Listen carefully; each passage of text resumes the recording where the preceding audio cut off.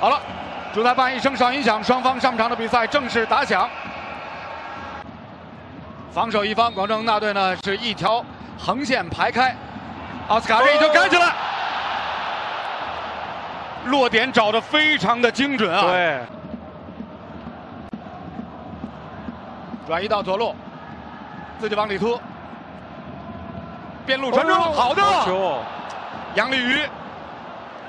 啊，左边路这道传中质量非常高，准确的绕过了上港队的中后卫。黄博文换左脚，球转移过来，冯潇霆，结果是冯潇霆啊，用外脚背送了一脚外旋的斜传给到禁区中央。这就是恒大的一个问题，就是当塔利斯卡也好，或者说这个郑智不在场，这个转移的问题是一个大问题。哦，看这个，哇，张卫，这脚低射很有力。而我们看这一次的反击，首先是得益于胡尔克在中圈弧附近漂亮的斜传过顶，随后在禁区里面一对一面对着张琳芃，想等奥斯卡上来，奥斯卡上来有点慢。对，又到了奥斯卡脚下，自己打，刚走到一半，队友球丢了。谁身后。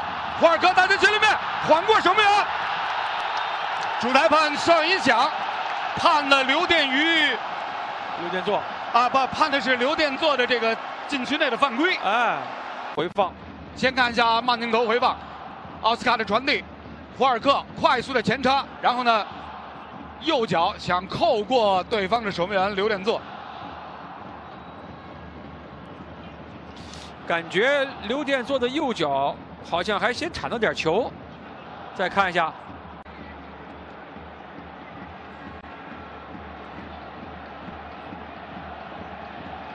不是，是吧？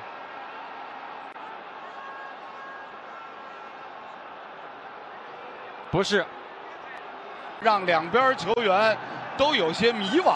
他这动作像是掷球，还是哎，在这个位置上掷球争？坠球，我一路动作做到底。哎，我头球做回来，外围全顶。哎呦，有力的一脚低射，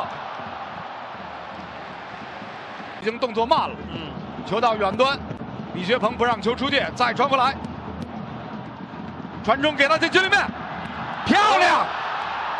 点球点的位置，保利尼奥先移住人，胸部停球以后。上港队防守球员反应都慢了，眼睁睁看着保利尼奥非常连贯的做第二步，半凌空左脚扫射。受阻的情况之下呢，打长传抢二点。其实第一波这个球权的获得呢，就是杨立瑜做给保利尼奥先拿到那下射门的，之后一直连续进攻，才有了这次禁区里边的第二次拿球。而我们看对位防守的二十八号贺冠，在那一瞬间脚底打滑。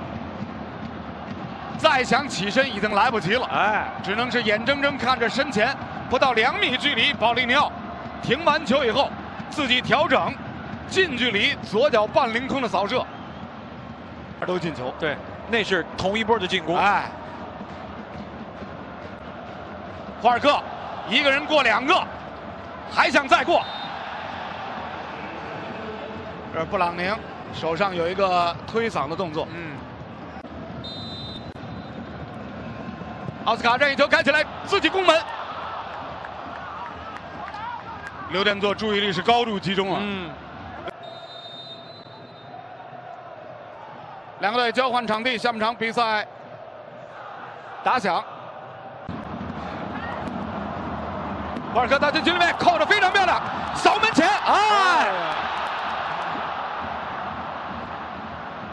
埃尔克森门前的扫射没打上劲儿。朴志洙，李学鹏左脚起，哎呦，这个头球啊！霍尔克禁区里面一对三，倒三角传过来，奥斯卡。哦，此奥斯卡还是很迅速的调整出来。我们再看一下，就这一下调整过来之后，我们看黄博文玩命上前进行一个封堵，是绕身前，最后这下呢，正好蹭在他脚尖上。是。是换杨立瑜，中一号顶上去，啊，看看谁来罚，结果是胡尔克，没有用他最擅长的正脚背发力的劲射，对方身上踢，嗯，这越位越位了，越位，哎，结果保利尼奥没越位，啊，最后最后进完球以后，助理裁判举了，保利尼奥，好的，李学鹏。送到门前，后点报仇，二比零，二比零，还是保利尼奥。哎，时间呢，着急了，嗯，体力也不行，后场防守体系已经混乱了，被拆解了。前面让的这个前点这一下呢，还是比较聪明，而且这个球呢，经过折向反弹之后呢，实际上也不在刚刚上场的恒大球员的控制范围之内。保利尼奥运气也不错，正好推了，算是一个空中穿当球。是。这样呢保利尼奥啊，在个人对垒上海上港的历年的比赛当中，这已经是有五球进账。嗯。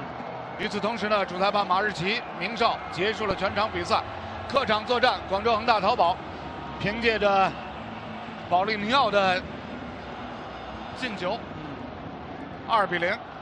在客场或。